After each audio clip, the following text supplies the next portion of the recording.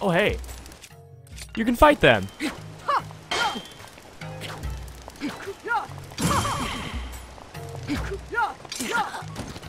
This is great. You can fight you can fight her. Now then, you're walking down the street on your way somewhere and a handsome foe you've never met approaches.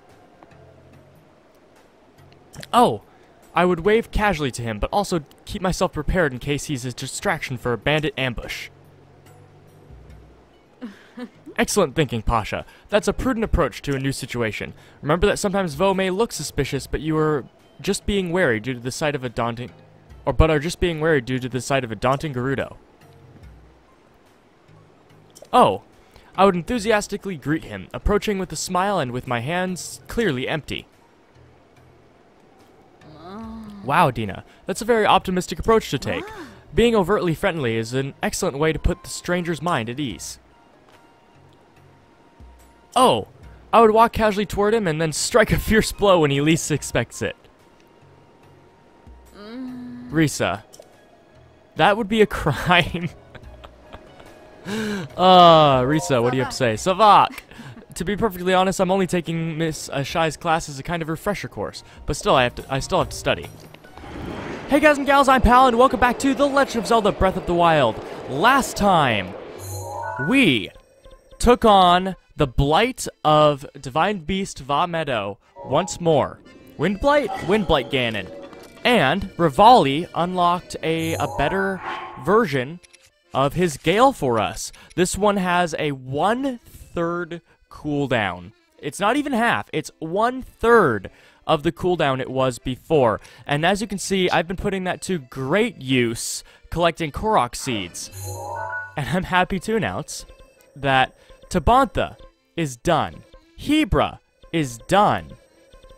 Gerudo is done. And the Great Plateau is also complete. Which means that I just need to clear out the uh, the highlands, or the actual Gerudo region, the snowy region. And then the Ridgeland Tower, and then half of the map, or I guess it would be a third, a third of the map is cleared out of Korok seeds. I have 280 remaining. Yes, that means that I now have 620 Korok seeds in my inventory. This time, we are in Gerudo, because we're going in we're going in reverse order from how we cleared the Divine Beasts at first. So we started with uh, with Lanayru, we went to Eldin, then Gerudo, then uh, Tabantha, and now we're going to Gerudo again. Going to talk to Kass. I applaud your courage in coming here.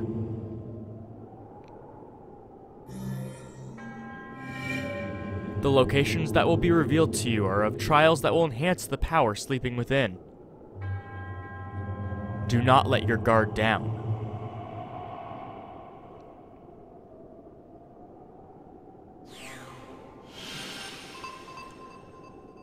I recognize that. Oh, that's that's turned, isn't it? Yeah, that's turned a little bit. So these ones aren't affixed to north? It seems? Oh? Did that, uh, did that stone monument just start glowing? I suppose that proves I didn't imagine it the first time. Hmm? Hmm? How strange to see someone else at this ample altitude. I wonder what brought him here. Oh, how embarrassing. I am afraid traveling on my own encourages me to talk to myself on occasion. Oh. Look at that! There's one here too. One of the monuments mentioned in my teacher's unfinished song. Ah, such a rush of happiness I feel at being able to sing while the divine beast watches over us. This is a song my teacher left behind. There is a verse about the trials that champion Urbosa overcame. Allow me to sing it. Lightning King of the Desert, Naboris' champion, the stalwart. The hero's power shall grow. Seek trials monuments show. One, fight the brute of the sand. Two, chase rings upon the land. Three, throw the orb underground. Champion, trials abound.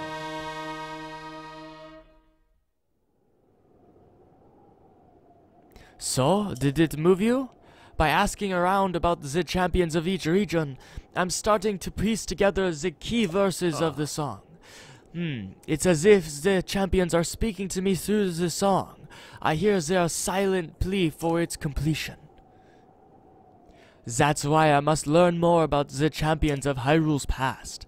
Luckily, the Gerudo chief, Riju, and her guard, Buliara, shared some precious tales of their champion with me. I'm grateful I was able to visit Gerudo Town, even though I had to, well, leave my comfort zone a bit. I was gonna ask how he got there, but now we know. Three pictures once again. I believe my yeah my album's full, so let me let me fix that. I have so many good pictures. Hopefully, I was able to include this because I found another T-posing uh, Lizalfos.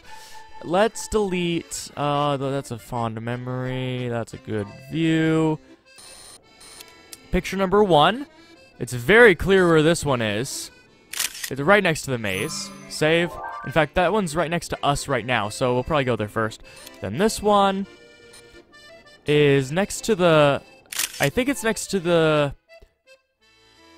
Actually, no, I, I can see where it is. In the far left side of the photo, there is the pit where we fight Master Kohga. I know exactly where that is. And then this one that's the that's the ice the ice place, the ice uh pit. So we we know where all these are. Good. Now let's mark them on our map. First one is this is one. Oh, it's in the pit. oh, is it the it's at the bottom of the pit. Oh, I'm excited for that one. And below the South Lomei Labyrinth. Hmm, I... You know what? We're only going to be doing one of the the uh, trials this episode because of time constraints, thanks to the Korok seeds and something else I would like to accomplish. Uh, let's Let's go to this one, because surprisingly, it is right next to where I want to go after I, I get the one shrine of the episode. So let's warp to Daqo Chisay Shrine and head west.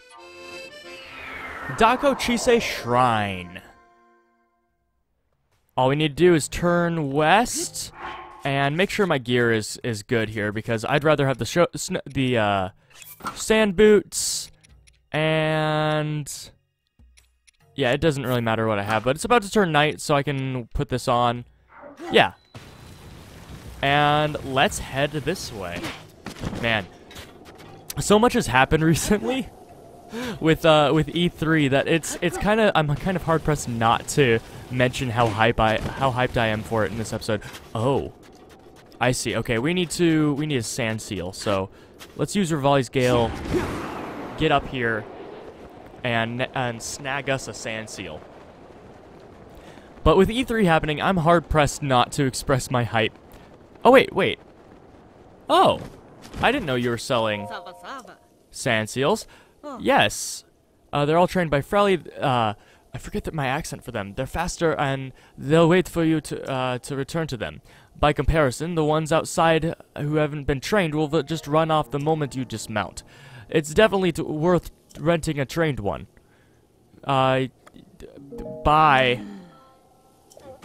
Wait, what did she just say? Oh.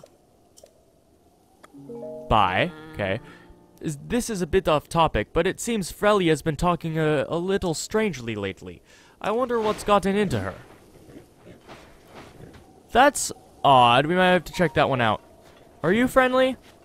Oh, you're just a friendly. Oh, that's my sand seal, so you'd better stay back. I won't be held responsible if Frelly gets upset. Uh, fine. I'll find my own. But yeah, one of the one of the E3 announcements that I'm surprisingly the most excited for was the new GameCube controllers they they gave. Uh, I invested in some in two white, brand new, uh, Japanese exclusive GameCube controllers a while back, and I was looking at prices. Okay, yeah, this is pretty easy. I was looking at prices, and they've jumped to about 120, 150 each, and I have two of them, and I spent $30. Wait, are you Molduga? No, okay. Get through. And I'm really pleased with that because my investments have been pretty sound lately. Like my, I've been, I've, I haven't really meant to be the investing type, but I, I have been doing some investing, and it, it's great to see that, um, like my speculations have uh, turned out to be correct. Like I've, uh, yeah, through there. I have purchased the two game, white GameCube controllers, which are worth 150 each. So that's um, what is that? That's five times my value, or I guess 120 minimum, which would be four times. But I'm four to five times my investment. Um, a while back, I bought Dokapon Kingdom at a GameStop. I managed to track it down and find it um, in their used game section, and it was 20 bucks. I was like, I'll pick it up. It's it's gonna it's worth more than that right now. It was 40 at the time. Now it's like 200 or 160. It's crazy how much that thing is worth. Um, I bought Xenoblade for like 60, and now it's a little bit less than that because of the re-release. But man, my investments have been so good, except for Xenoblade. But Xenoblade is just a game I wanted to play, so it's less of an investment and more of, I love this game, I bought it when it was rare. Okay. Uh, Takama Shiri Shrine. Dual purpose. Huh. So yeah, price speculation is actually pretty fun and fairly easy. Like, if you have a good sense for the rarity of something and you can pay attention to when you see it, like, just garage sale shopping is is really, really enjoyable. Uh, I'm gonna get shocked if I touch that, aren't I? Right? Let's, let's test this. I'm gonna unequip my stuff so I don't have to worry about dropping it. Oh, yeah, okay. So, let's... Thunder Helmet? Thunder Helm. It's great. Uh, actually... We don't get to give the the rubber tights that much that much uh we don't get to show them off that often, so I'm gonna equip those because those are, I mean, they don't look that great, but they're you don't you never wear them. There's no reason really to wear them. Okay, so this is called this is shrine is called dual purpose. I assume because we're supposed to be making a pathway and also progressing, uh, making a pathway and also connecting these circuits. Uh, this one needs to go over there because it, it has a purpose of serving as a platform. Uh, actually, if we do this, and then we move this one over there, and this one over here,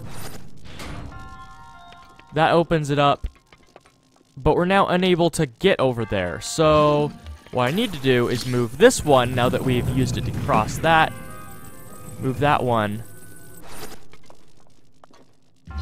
Oh, we don't have a circuit. There. Good. And good. I'm gonna move this one over just so it looks a little bit better. And then we'll walk over. Alright, still not sure where the chest is here. I'm a bit worried about that. But we'll we'll see. Also, I have a theory to test, just real quick. If I move this out... Wait, are you guys touching? There. And if I shoot this with a shock arrow,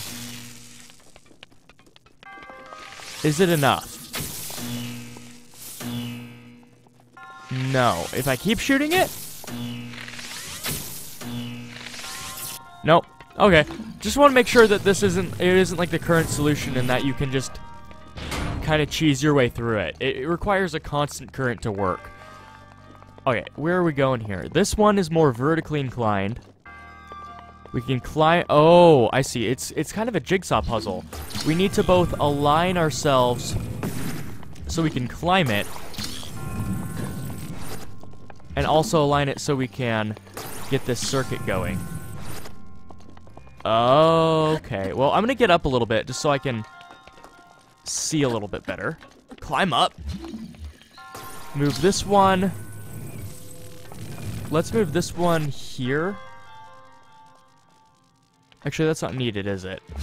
Uh, let's move this there, because we still need to be able to get up. And then we'll move this one over. Not sure if we're supposed to be able to do it like that, but I am doing it like that. Actually, no, we don't even need that. Move this one over completely. Move that one. Oh, wait. Why did I think that would work? We don't need this thing back here. Oh, it's a two. It's a tour. Okay.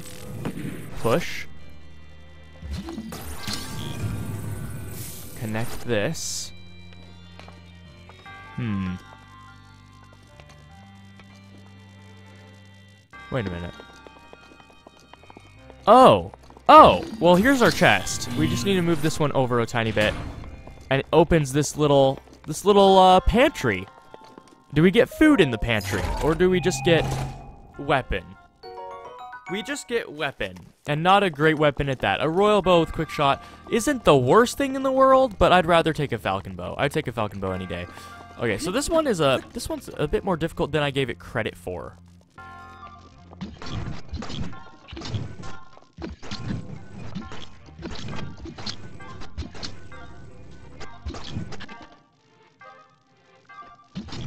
This one over. That works. Yeah. I'm not sure if that's how we were supposed to do it. But... Oh, there. that's a problem, though. Here, if I move this over, I should be able to climb on it and then push it back. I don't think that's a big problem here. Yeah, just push it back. And we're th through, and we're done. And they gave us a little bit of a walkway just to kind of take a step back and look at the big picture. I think that's how they wanted us to solve it. Maybe. I'm not actually sure. It looks a little bit... I'm not sure if we were supposed to connect it diagonally like we did. But it worked, so I, I suppose I shouldn't complain. Also, do I... Uh, I have to get back up, don't I? Back through. And that should be it. Let's check behind as we always do. I've been rewarded with it once, so shut up. It it worked once. And that's it. Well, not entirely it. We still have one more thing to do this episode. I'm cutting the progress a little bit short because, if you'll remember, we spoke to um, Kilton a few episodes back, and he said that if we managed to defeat every single boss of a certain kind, we would get a reward. Now, I found the other Molduga. It was here. And I killed it. So, if we go to Kilton, who should be right there when I warp, let we can see what reward we get. So let's go to the whole picture and run back to Kilton. There he is. Good old Kilton in his place. I wonder if we're if he gets any other customers besides us. Because I'm not sure what his market would be. I mean, I get that I get that I mean, maybe some of his stuff would have use. Well, no, it wouldn't even have use. It only really appeals to adventurers like me. So, I don't know. I don't know if he gets any other business or if he's just creepy and he says he's a business to us, but he, he's not actually. Hey! This smell. Is it a Molduga? Or perhaps... Ah! Oh, it's just you. Good evening. How may I help you? Monsters.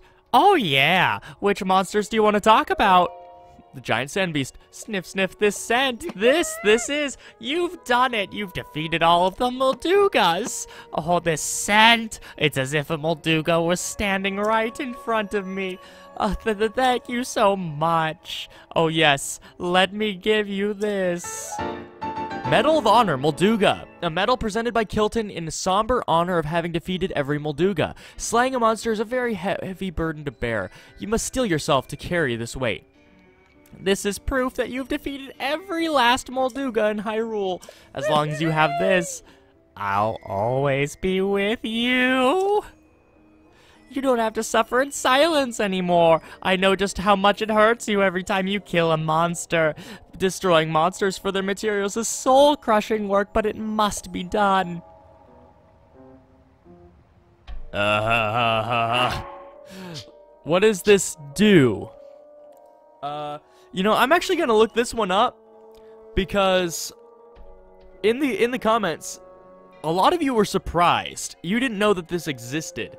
So I don't know who it was that originally commented, but I'm not to ask uh, this. So I'm I'm going to look this up. The Medal of Honor serves no purpose other than an award recognizing Link's accomplishment of finding and defeating its respective boss. Alright, so technically that means we can get a second pay- well, no, because there are two more. But this is the completion for the, the key items page, I believe, because there's nothing else that we can get, and so these empty slots in every category, I believe, except this one. This one Actually, no, this one as well. In every single category, they fill out the pages. They were very smart with that, except armor, I guess. That's kind of weird, but maybe... Actually, no, with, with amiibo armor, that should probably fill it out. One, two, three, one, two, three, one, two, three. Yeah, with amiibo armor, this would also be filled out, which means maybe I should get to this at some point. And with this, uh, the end of game light arrow fills out the last slot. So every single page has to be filled for 100%, or at least for my definition 100%. So now you guys know. And now I know what goes in those spots. That is going to be it for this episode. Next time in Pal Plays Breath of the Wild, we are going to be uh, going to the two remaining shrines, saving the pit, the best, for last. And then we can face the trial of uh. Thank you guys so much for watching. I release new episodes of Breath of the Wild every Monday and Wednesday. If you enjoyed this episode in any capacity and want to see my channel grow just a little bit bigger, go ahead and share your favorite video of mine with any one of your friends. Even if it just gives results in a view, it's still spreading my channel by word of mouth, which is one of the strongest ways that a channel can grow. Alright, Thank you so much for watching, and I'll see you guys next time. Duga. Now, is this one special? Uh, let's look at our adventure log. This one is fight the Brute of the Sand. So, it doesn't say whether or not... Oh, Moldu... Molduking? is this Mewtwo King's brother? His younger bro brother slash cousin? No one really knows. He doesn't rock forward and backward in his chair. He rocks from side to side. and he plays Roy.